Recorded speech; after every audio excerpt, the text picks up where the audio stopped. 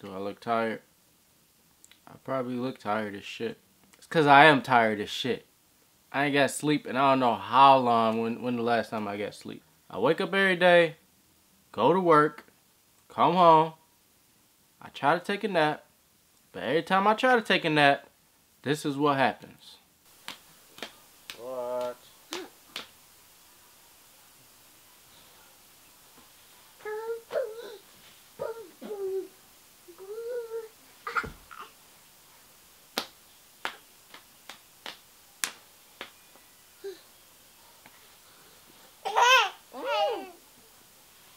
Now how am I supposed to be able to sleep when that's happening to me every time I try to take a nap? I love my kids to death, both of them. But his little ass got all the energy in the world. I mean, he worse than SpongeBob and the Energizer Bunny put together.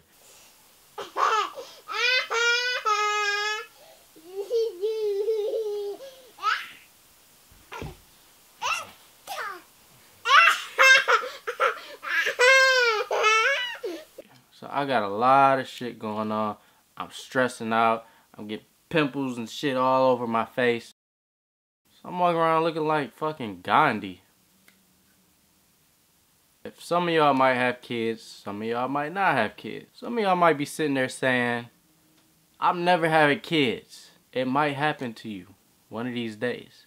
Some chick might rape you. You, you don't know. She might get pregnant.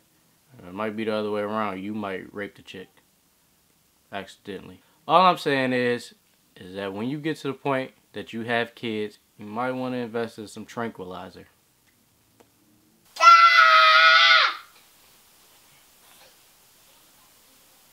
Oh, that's my ear. Smell like butt. What the? Mm.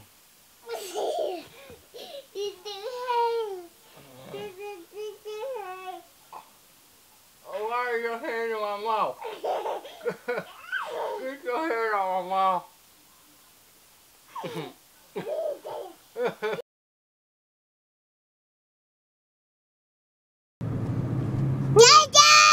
Who you yelling at?